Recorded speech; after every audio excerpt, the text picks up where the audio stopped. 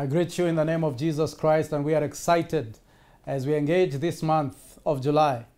And we are talking about inherit royal influence. One of the things I've said and repeated many times is this thing that we are royalty. And as royalty, God has given us influence. The Bible says in Matthew 5:16, "Let your light shine before men, that they may see your good works and give glory to your Father who is in heaven." In the book of Matthew, chapter 5, it's a very interesting chapter because Jesus starts talking to the disciples on how they need to live their lives.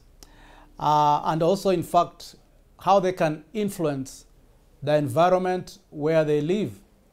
We're not on this earth by accident. We are here by purpose.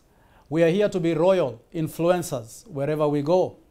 The Bible says in 1 Peter 2 9, For you are a chosen generation, a royal priesthood, a holy nation, a people belonging to God. And so there are three things that I want to talk about concerning inherit royal influence. Number one, you are blessed. Number two, you are the salt. And number three, you are the light. These are the three things that will enable us to be influencers wherever we go in this life.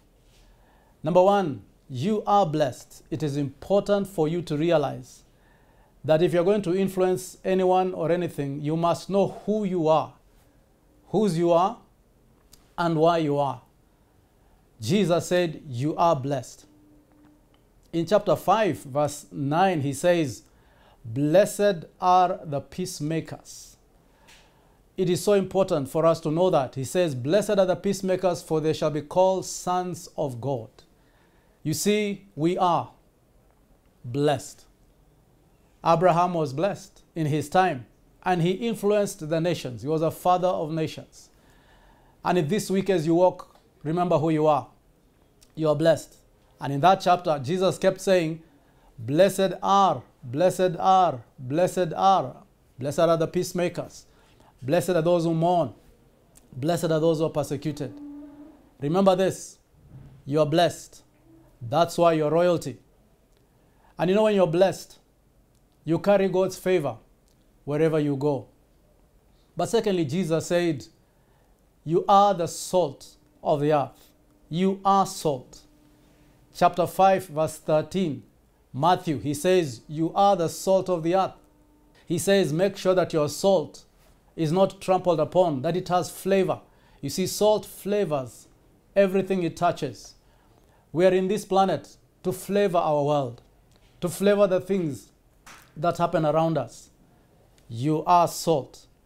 Influence through your flavor as you live your life and people see Christ in you. And that is very important. As you live your life, remember this somebody is depending on your character, depending on your behavior, depending on how you do things. You are the salt. He did not say you will be like the salt. He says you are the salt. And so, two things. You are blessed. And number two, you are salt. And number three, you are the light of the world. You are light.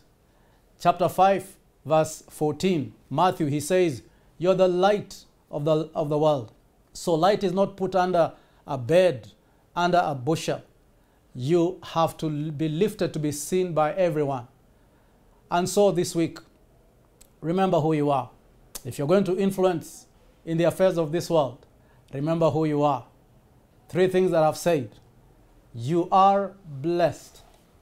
Number two, you are salt. And number three, you are light. So influence the world. You are royalty. And may the Lord bless you as you serve Him this week.